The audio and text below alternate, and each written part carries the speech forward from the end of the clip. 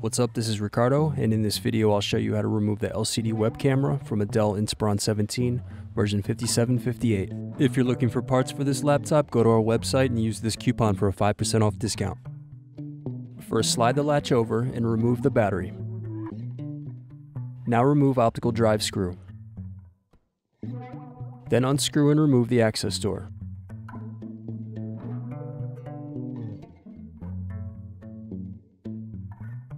Then unscrew and remove bracket. Now unplug antenna cables and remove wireless card. Next unplug hard drive cable. Then unscrew and remove hard drive.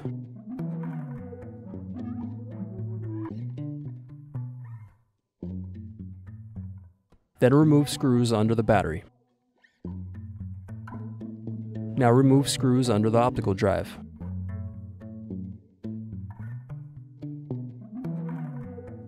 Next, remove bottom base screws.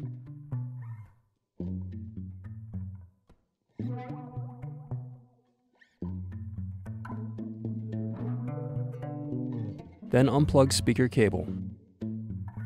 Now press in the tabs to loosen keyboard, then turn it over. Next, to unplug cable and remove keyboard. Now slide DVD optical drive over and remove it from the laptop. Next, to unscrew palm rest touchpad.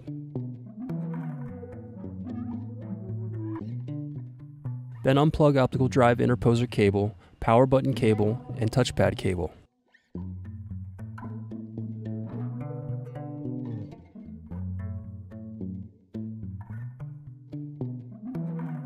Next, carefully pry open and remove bottom base.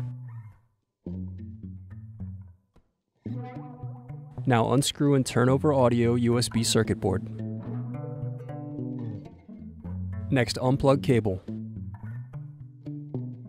Then loosen audio USB cable. Next, unplug and loosen the LCD cable. Now unscrew and turn over motherboard.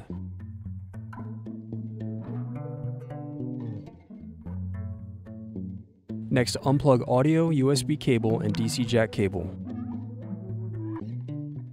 Now remove the motherboard. Next, unscrew and remove DC jack. Then loosen antenna cables.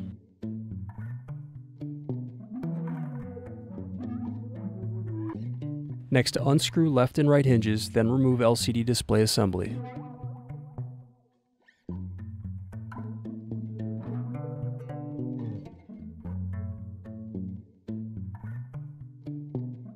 Now unsnap LCD bezel, working your way around the edges of the screen.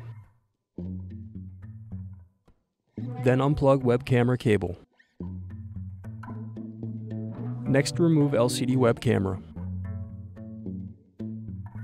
Need more? Check out these other tutorials. For batteries, click here. For hard drives, click here.